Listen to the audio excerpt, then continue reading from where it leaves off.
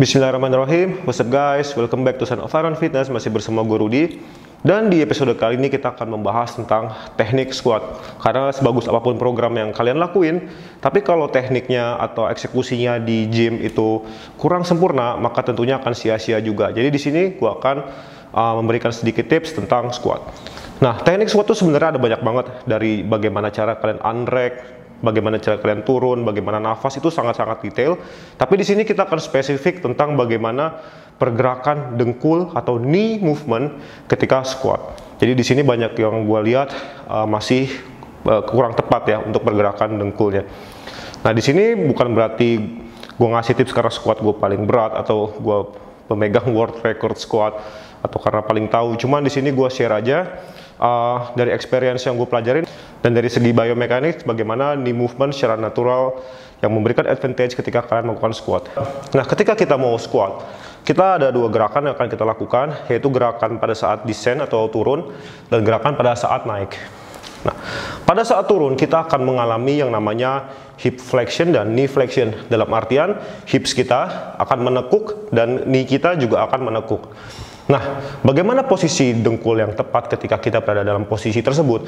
Posisi dengkul yang tepat adalah kita harus membuka dengkul keluar ketika kita dalam posisi tersebut, ketika kita dalam posisi hip flexion dan knee flexion. Jadi, kita mau dengkul kita itu kita buka keluar searah dengan mat, uh, searah dengan telapak kaki kita. Itu adalah posisi natural ketika kita squat. Dan yang kita nggak mau adalah kalau berlawanan dengan posisi natural tadi. Jadi kita nggak mau kalau dengkul kita justru masuk ke dalam ketika kita turun. Itu udah salah banget dan bukan gerakan yang optimal ketika kalian mau squat. Nah, terus kebalikannya adalah ketika kita naik dari posisi squat, kita akan melakukan yang namanya hip extension dan knee extension. Nah, ketika kita melakukan tersebut, kita mau melakukan yang sebaliknya, jadi justru pas kita naik, kita mau menginternally rotate knee kita supaya kita bisa naik secara maksimal. Dan kesalahan yang paling sering gue lihat dari orang-orang adalah mereka mempertahankan uh, dengkulnya tetap kebuka ketika naik.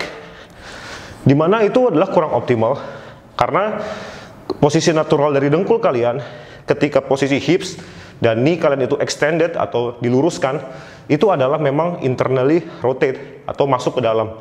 Jadi sekali lagi, ketika kalian mau naik dari posisi bawah squat, kalian jangan mempertahankan knee kalian tetap terbuka, itu akan mengurangi kekuatan kalian.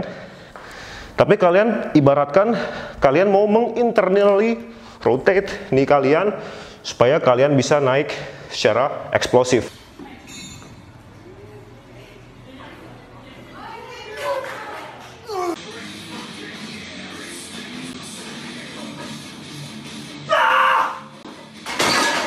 Nah ini dari angle atas. Apabila kita mau turun, kita mau ngebuka dengkul kita searah dengan telapak kaki kita. Nah tapi kebalikannya, apabila kita mau naik, kita mau menginternally rotate knee kita, dengkul kita, supaya kita bisa menggenerate power output yang lebih maksimal. Karena memang gerakan natural dari dengkul adalah ketika kita mau mengextend dengkul dan hips itu memang akan internally rotate. Simple cue atau petunjuk umum yang sering gue terapkan adalah ketika naik, yaitu gue menekan jempol gue ke lantai supaya menciptakan knee internal rotation yang maksimal.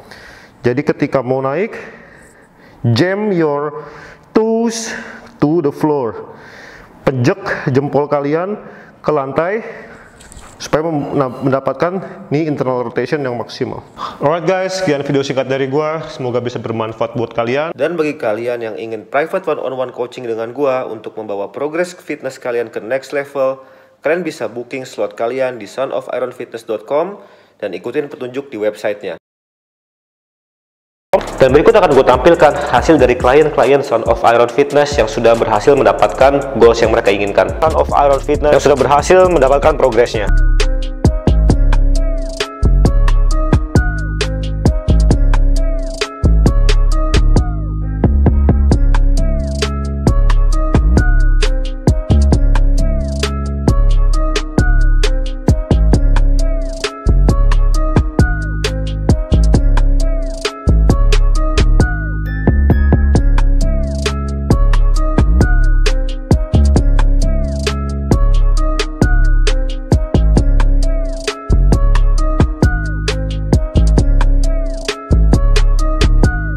Oke guys, sampai ketemu lagi di video berikutnya. And peace selalu.